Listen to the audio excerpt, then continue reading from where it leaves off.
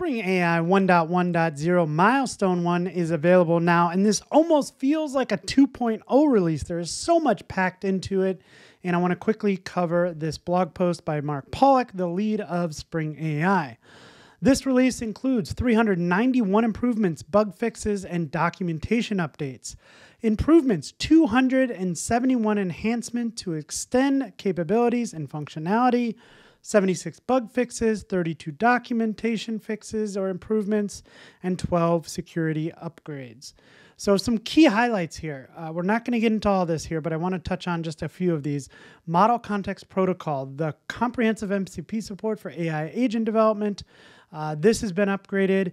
One of the biggest things here is giving us the third specification, which is streamable HTTP support. So if you're kind of new here, uh, building MCP servers, we've had the STDIO, the standard in and out. We've had HTTP with server sent events.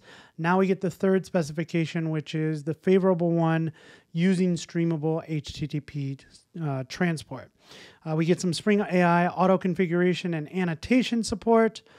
Um, expanded model support. So here in this section, one of the big highlights for me is the Google Gen AI SDK integration. So if you've ever tried to use Google Gemini, you've had to use like the Vertex API or do like a workaround with an OpenAI API.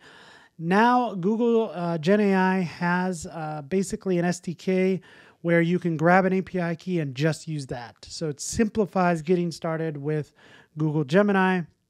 Some advanced vector store and RAG capabilities, enhanced multi model processing, and production ready stab- stability. So there is a lot to go into in here, and we'll see if we can get some videos together on this. But congrats to the entire Spring AI team. This release is awesome, and I can't wait to start playing with it.